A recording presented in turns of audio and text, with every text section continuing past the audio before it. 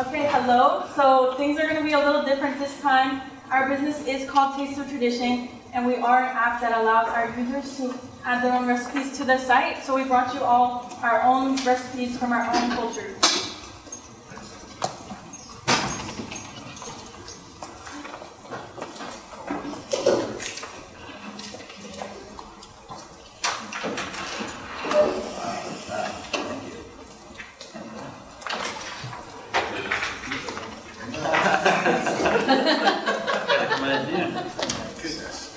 Thank you. Thank you very much. Exactly. What time did you lunch?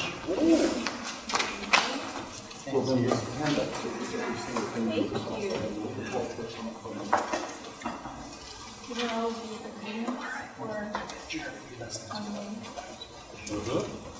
Very cool.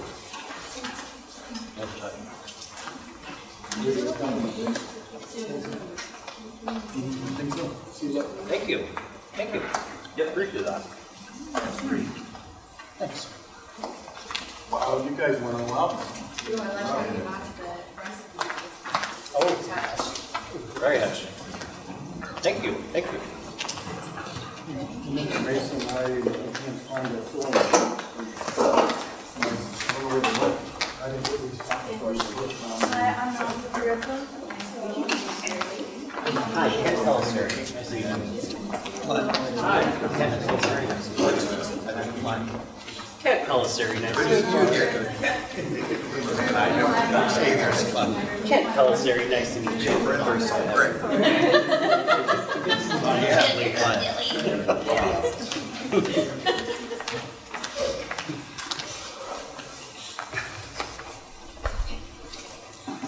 We researched and found that 84% of Americans believe that food brings people from different cultures together. We want to continue to grow that number by creating an app that enables you to browse through a large collection of special recipes from every single corner of the globe, from the spicy salsas of Mexico to the savory egos of Asia and beyond. Hi, I'm Nadia Vireta, the CEO, and welcome to Taste of Tradition. Our platform offers easy to follow cultural food recipes excuse me, completed with the stories behind each dish to ensure your creations are true to their cultural roots. With us, you'll not only explore, learn, and recreate traditional dishes, but you'll also embark on a cultural journey without even leaving your home. So let's bring the world together one recipe at a time. Again, I'm Nadia Vireta, the CEO. I'm Natalie Torres, the CMO. I'm Enrique Cantor, and I'm the CFO. I'm Chris Washington, I'm the CTO. So the problem that we're trying to solve here today is that many people want to share their cultural food recipes, but don't have the platform to post them, share the stories behind them, and add them to their favorites on a digital and physical cookbook all in one place. So as soon as you log into our app, you'll be greeted by our login and sign up screen. Here's the home screen. You'll be able to scroll through multiple recipes, each having their own different tags of where they're from, like, latest, and search options. Each having their own hot topic, so you can search up, oh, I have this in my refrigerator, I have this in my refrigerator, so I'm just search up this, see if I can get a quick result. And here's the overview. It shows you where it's from, how long it will take you, a snippet of the background of the recipe, how much ratings it has, how much likes it has. So here is the rest, the ingredients. So here's the rest of the backstory. You'll be able to follow this person and favorite this person, this recipe. Here's the favorite screen. Each one of these have their own little tags telling you what they are, where they're from, and how they say dinner. You'll be able to scroll through the top right there to go to the specific tag like brunch, lunch, and breakfast. And right here is an advertisement for buying your first cookbook, which would be 20% off. Here is our subscriptions. So for the zero dollars a month, you'll have ads, you'll have no customizable cookbook, and you have a limited amount of favorites. For our $4.99 month per month, $4.99 per month, you have no ads, 60 favorites, and no customizable cookbook. And for $7.99 a month, you have no ads, unlimited favorites, and a customizable cookbook. Our unique value proposition is our app allows you to share your own recipes with their own unique backstories, as well as search other recipes up and share them all with your friends. This is Lisa. She's a 32-year-old Caucasian woman with two kids, and she want, and she's running out of things to make them for dinner every night, and is looking for something new. With us, she will find many different cultural food recipes while also introducing the backgrounds behind those recipes to her children.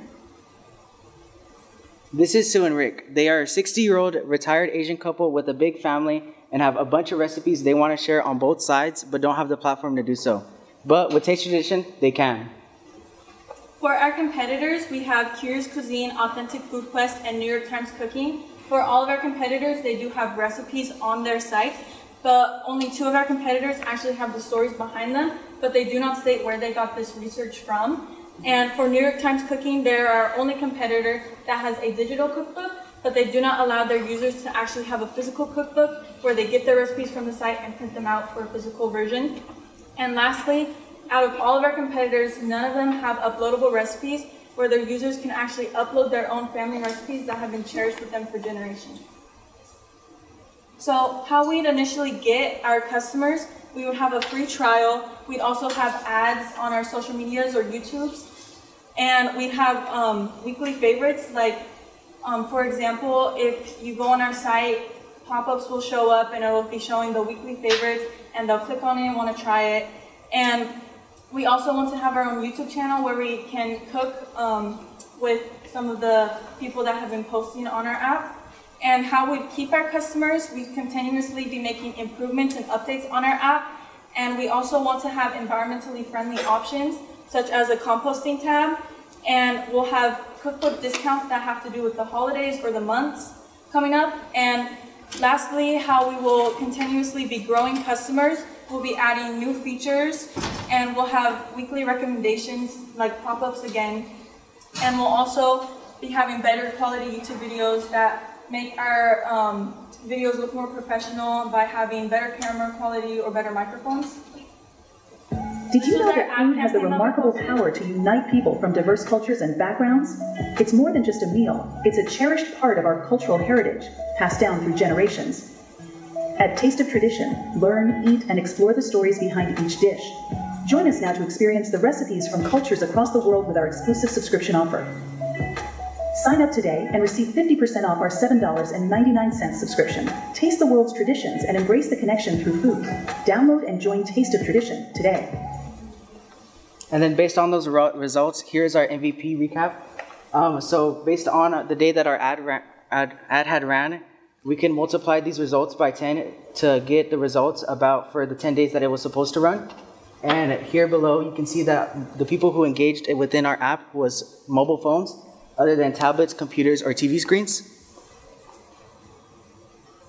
From our ad, we also did find that our targeted demographic, which was initially women, was equal between males and females, and now we will be targeting males and females equally.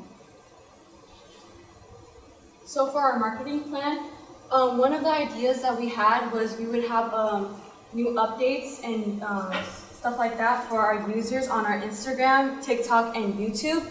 We keep our users updated on things with new features or new um, setups or if something's running down. We would also keep them on news updates if we have any, you know, like um, events we were planning, you know, at local uh, restaurants.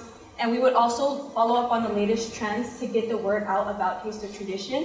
We would also be doing collabs, like Nadia mentioned. We would be doing a YouTube channel. We want to invite people onto our cooking channel and you know tell the stories uh, behind this dish, and we would kind of do a Q&A with them. We would do like influencers, like cooking, um, you know, known cooking people, and we would also invite our family members. We would also like to partner with big um, uh, companies such as HelloFresh. If you guys are all, you know, familiar with HelloFresh, they provide the recipes for their users and also the food. So if we were to partner with them, we would provide the cultural food recipes and they would provide the food to the users. We also do a lot of branding with our business, like, um, you know, we have booths set up at local farmers markets, and as soon as our users see our logo, they know who they are and who they are loyal to. This is Gladys Sanchez. This is our mentor. She is a graduated from Fresno State with a bachelor's degree in business, and she actually has her own um, business selling birria sauces. And she one day wants to hope to make it to Foodco and Winco. And why she helps us is because she is in the food industry. She also has a podcast where she tried to invite us on, and we are setting up that meeting. And she wants to just talk about our business and why it's important for youth like us to get involved into the food industry.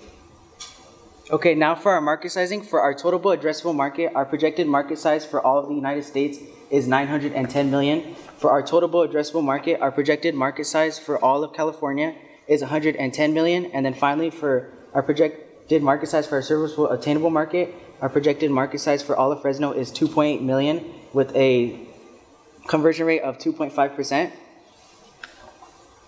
And then next, here is our revenue. Our year one revenue is 2.8 million. Our year two revenue is 3 million. And finally, for year three, our revenue is 3.3 million. And I got this from our subscription price of 4.99. And each year there was a growth rate of 10% that I found from Statista.com.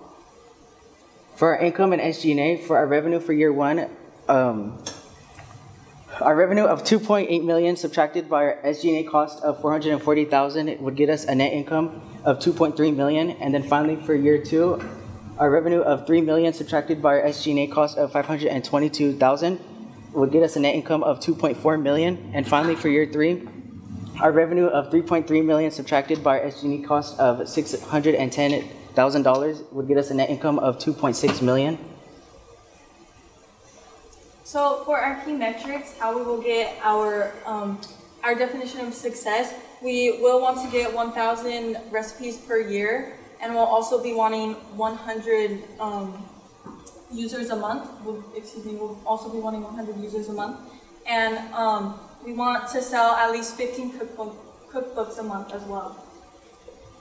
For our capital ask, we are asking for $295,000 for a stake of 5% of our business. For the use of a capital for consulting and PPE, we plan on buying a machine that will make our cookbooks instead of us purchasing those cookbooks from other people. And we plan, we we also want to fund for consulting for someone who can help us make our business better. And next, for marketing, we want to do content marketing so people can know our business and let it be out there. For our exit strategy, in year one, we will be trying to actually launch this app. In year two, we'll be adding features and new updates that people have been like consistently um, complaining about. And um, lastly, for year three, we will be trying to sell to a strategic buyer, such as HelloFresh, HelloFresh, as we said before. So for our environmental impact, we as a team, we have users that produce food, and that causes a lot of food waste. Over 96 million pounds of food goes into the landfill, and we want to kind of decrease that number by giving our users tips and tricks on composting and why it's important. So if you have livestock, you can feed it to your livestock. There are certain things that can go into um, composting and what can be thrown away. So we would also kind of like give them that idea of what can be composted and also you can use it for your soil, for gardening. That's a really healthy thing for your plants.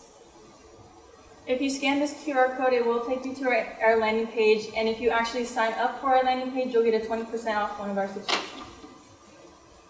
So at Taste of Tradition, we provide a platform of easy to follow um, cultural food recipes completed with the stories behind each dish to ensure your creations are true to their cultural roots.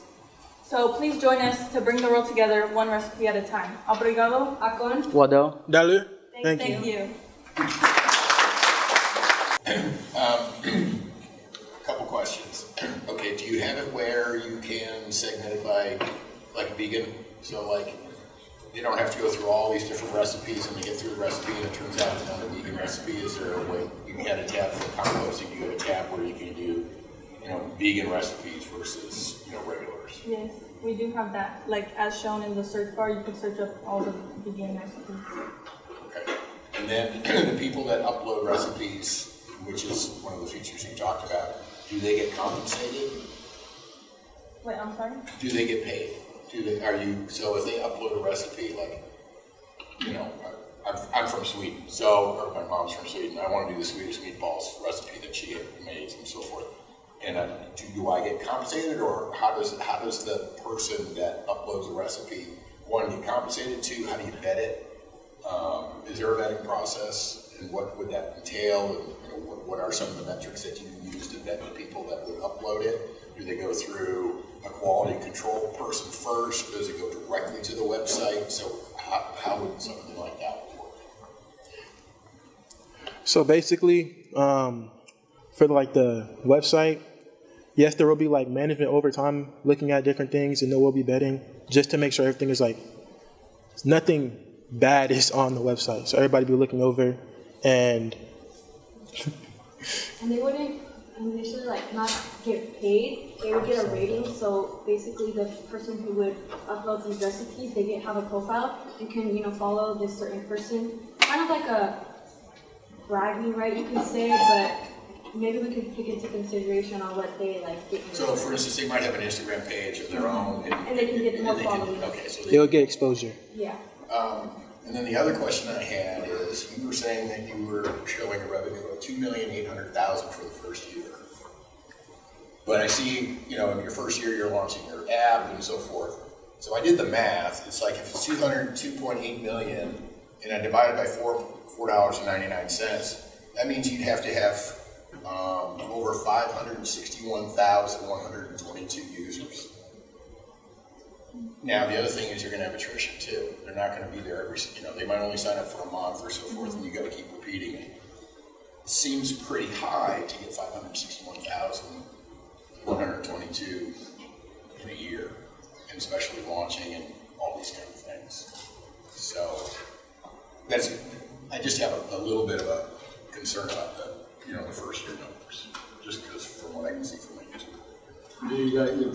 what he's saying, right? Yeah. Because you, on your other spring, it talks about adding one hundred per year. And you're closing out a per year with your exit strategy, so that's three hundred. Three hundred times that amount, isn't it? So, it's just, this is just a cross-section cut to really look at it and challenge it to see if it's ready for presentation, so you have to look at that. Yeah, and then the other thing I would want to know is, is what's your attrition rate? Um, You know, so people are gonna sign up, but they only might sign up for a month and then quit. That means you gotta get somebody else to replace that person, plus you're trying to find a new person to keep growing. So you're always gonna be trying to grow, but you're also gonna be trying to, at the same time, replace the people that are. So I'd like to know maybe what your attrition rate would be. So, you know, for every ten that we get per month, we lose three or four. So that means you've got to have the extra three or four the next month plus whatever growth that, you know, for that month in order to meet metrics. So I just, I would just need to know a little bit more about what the attrition rate might be, because not everybody's gonna just, you know, be there forever. I think it's, the, the monthly fee makes it pretty easy, it's only four ninety-nine, but it's still something to think about, because you have your growth rate, you need to kind of think about an attrition rate too. And to, and the devil's advocate on that, George Brown was the first person that, that I know of to apply a debit card auto renewal on a subscription for a gym. And I was there when he bought the first gym in Fresno in the nineties. And all you had at that time was the ability to use your ATM card at a bank to take out money or at Carl's Jr. That, that's the only place you could use to, to get something done through card. When George made that work for his gym, he created a revenue model and he put the price low enough that people didn't want to cancel just because they didn't make it to the gym for a month. Maybe they were on travel, they're like, well, I'm not going to cancel because I got to go through a sign up. So I think your, your subscription rate is low enough that people might not race to cancel it if they didn't get to use it they'll let four ninety-nine bleed out of their account for a long time before they say that's too much, in my opinion. So the bigger the net you throw, the more you can get in, and the lower you keep the subscription rate for base services, the more you could gain something. But let's not get excited about not having a product that everybody wants, because you don't want to just get money out of them and not provide something. So I, I think your numbers need some work. Um, and, and I know it's hard to do this to get ready for your presentation because you have pages you're looking at going, oh gosh, we have to answer all these. But it's not necessarily part of where you are in, in evolving and birthing and creating this business. So um, I'd like to continue on with uh, some of the other thoughts of the other judges. Yeah, and just my final thought, I think it's really cool. You know, I don't wanna, I don't wanna get distracted by some of the things, but it is important, those are things that I meant. But- But I also wanna take away is I think it's really cool. I think it's fun. Um, you know, my wife and I kind of, and the reason I asked about vegan is we kind of moved away to a more of a vegetarian vegan lifestyle. So we do a lot of recipes now, and we're looking for a lot of recipes. And, you know, to find some really unique things that we could do, well, such as this, is, would really kind of fit in our lifestyle. Mm-hmm. So it does attract me. I think, and to Josh's point, four ninety nine is, you know, a good price. you know, I think it lends itself that your rate could be, you know, somewhat Reduced slow. because of that. Yeah, but, but, yeah, there's some tweaking there, but I think overall, I think it's really cool. I like the idea that people can, you know, get their ego stroked and, you know, put up their recipes and, hey, this is mom's, you know, whatever and stuff like that. So all in all, I think it's good. There's just some things that we just kind of need to work out on the number side, you know, because the ask is a little too high basically because I don't think the numbers match up. But I really think the whole thing is pretty cool. I, I, I really do. I think it's, it's, I I like it a lot. How would you vet recipes coming through? How we, we check them, we gotta try it out in a test kitchen, we go, oh, here's a recipe, let's see if we taste it and go, and see if you don't die. Kind of like, uh, that's why we kind of want to create a YouTube channel to Okay. give uh, our users more of a visual instead of like reading because more people are like a visual learners. And also we would want to create the YouTube to like maybe add their own kind of twist to the recipe, kind of like, oh, maybe instead of adding lemon, I add, like honey or something. Oh, you're saying how to improve it, no, I'm saying, is what they sent Yeah. even gonna come out? It doesn't as- taste good. Like, what if it says three bat wings, two eyelashes of a toad, three toenails of a pig, and then you're like, what did we just make? And then you brew it in a cauldron. You know, so how are you gonna make sure that you have quality coming through? How do you check that? Or have you thought of that yet? I mean, it's like some traditions or cultures have like different recipes, so if you're not like interested in it, like if obviously if you see like a bat wing, don't like cook it if you're not interested. So we're like people cook things that they think that is delicious. So if they think bat wings are delicious, I mean, So just go for it, kind of free form, just let it, let it go and see what happens. Well, it. we actually were planning on like buying um, into some companies that will like watch over our app and like see, be checking the recipes that come in. And because we also have a comments tab, so we'll be filtering through that, making sure everything's appropriate. Yeah, okay. So I, I just want to sort of uh, re-articulate some of the points. Um, it's not just pretty cool, it's amazing. Like what you guys are doing is, is really amazing. I love the uniqueness of it. I think excellent space, the fact that you went, you know, after an app, I think that's marvelous. The fact that you're able to find something unique or something, you know, that could put your own brand around. Wonderful job, wonderful job. Like th- this is a really cool business idea.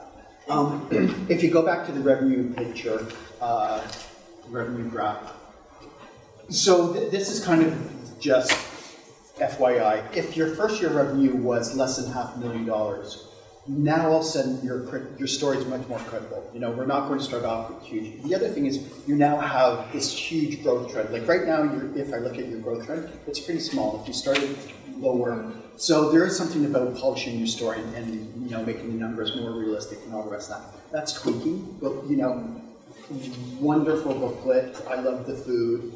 You guys did a really, really good job of, you know, uh, as I was saying in the morning um, to some of the other guys, really, really good job of meeting all your scholastic requirements and putting together a really good business and a really good presentation. So kudos on that. Thank you.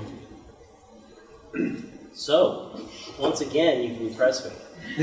Good job. And I'll say this again. I said this. I said this in your last presentation, and I'll say it again to start off with.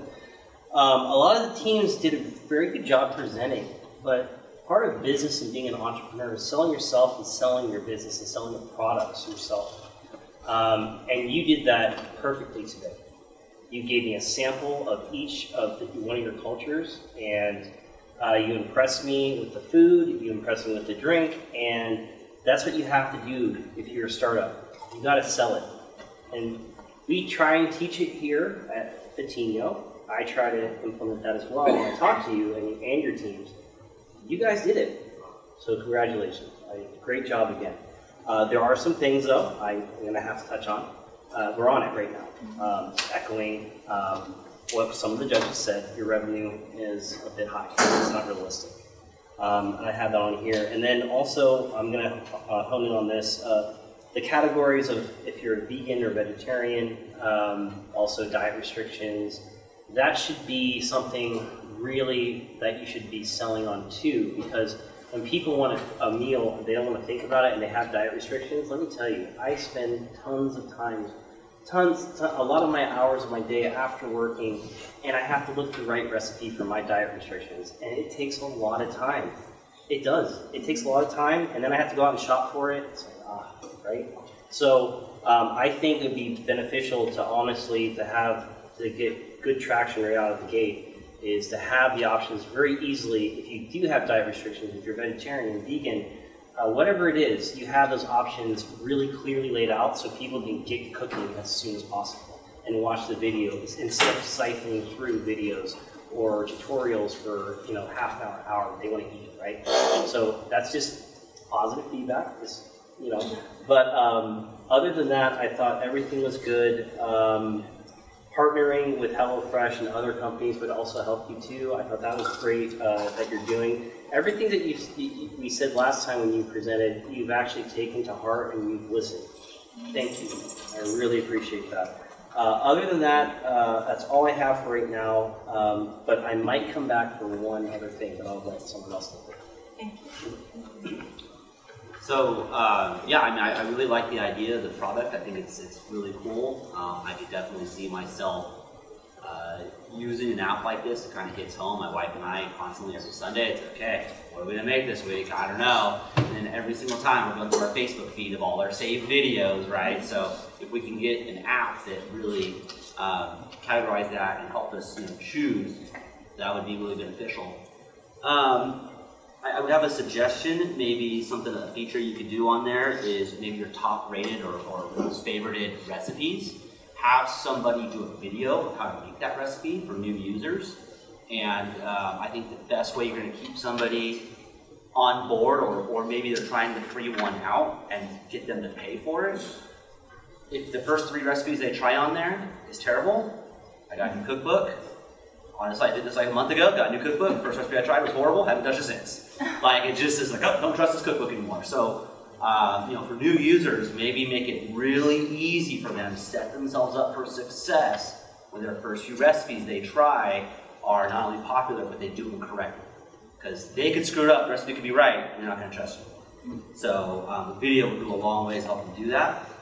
Also, if you could create subgroups or allow people to, to join groups, um, if my family, my in-laws, they're all Cuban, there's like a ton of them, and we all have their recipes and things like that, it's impossible for us to get together and for, for them to teach us how to do things. So if we just said, hey, we have our Biddy family uh, group on this app, now you have the whole family going to join the app, right? Because we all want to communicate with each other. And it's just a good way to share our own personal family recipes, but then other people can access the recipes too. But I can go on there and quickly search. I just want my family's recipes. Uh, what what would you guys anticipate making if somebody only did the ad-based subscription?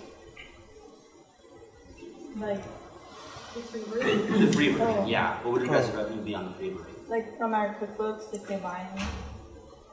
Well, because you said you're going to do ads. Yeah. So what are the ads pay? We haven't really looked into like how much we charge for each ad and click yet, but we can take it into consideration. Okay. Yeah, you have the OTT marketing where you know companies will sign on. There's companies that will help you sell ad space and things like that.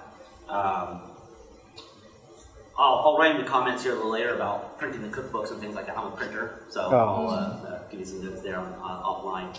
Um, also, maybe you might want to, as recipes are being added, there's a lot of maybe there's a way to categorize or say, hey, this is the authentic way, this is the traditional way to make this dish, and mark that as like, hey, this is the long history one. But then also, people may have twists or modernizations to those recipes, so kind of categorize those differently. So I would know, like, okay, this is the traditional one. This has bat wings.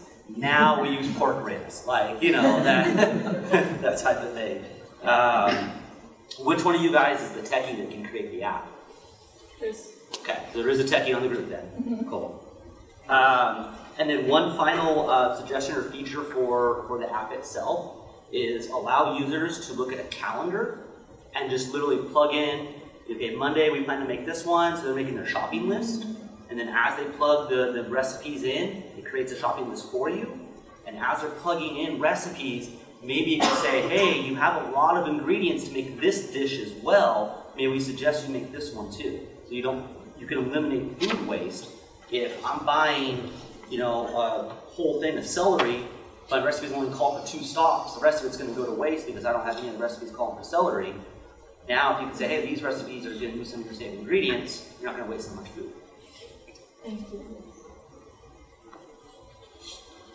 I wanted to say that you guys did well down on your presentations. It's amazing. I come here once in a while and I see the progress of your presentation, your slides. You have a you have voiceover, your video. That was amazing. I don't know who did that. Is that one of your boys? That was awesome. I like that.